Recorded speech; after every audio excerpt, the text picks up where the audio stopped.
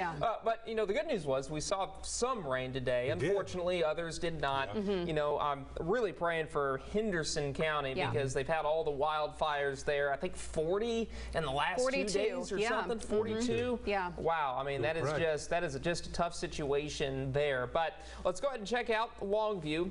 And there you go. Not a lot going on. We went over your rainfall totals earlier, and some people again seeing a couple inches of rain. Some people not seeing hardly anything at all. But again, this is a live look in Longview. Temperature wise, those temps have come down just a little bit. We're now at 77. Winds are out of the southeast at 6 miles per hour. Of course, there's really no issue with visibilities because A, we don't have fog, and B, we don't have any more rain in the area. And I don't anticipate there to be any more rain tonight. Temperature wise, we are in the 70s and lower 80s. Look at that, Lindale and Tyler Pounds Airport now at 80 degrees on the money. It's 77 in Southeast Tyler, 80 in Henderson, 77, as I mentioned, at the East Texas Regional Airport. It's about a degree warmer in the heat island of downtown there. But as you move further to the south, in Deep East Texas, NAC is at 76, it's 75 in Applebee's, 77 in Mount Enterprise, 75 in San Augustine, it's 76 in Lufkin, Texas, and 77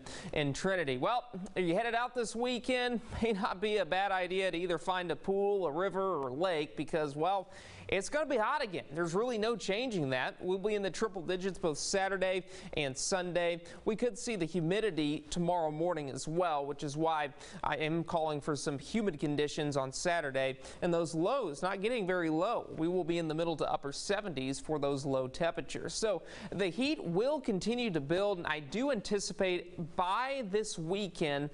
If not tomorrow, definitely on Sunday, we will return to the triple digits. Now, this area of high pressure, it's weakened some, but it is going to intensify and it's actually going to meander its way further to the east as it does so. Now, let's go ahead and pause this here real quick. Now, look at where the area of high pressure is and look where this big line is. That is all the influence of the area of high pressure. So, when we say the entire south is hot and humid, this is what we mean. It's a very stagnant weather pattern all the way from the Four Corners region, across Texas, across Oklahoma, and parts of the deep south right there.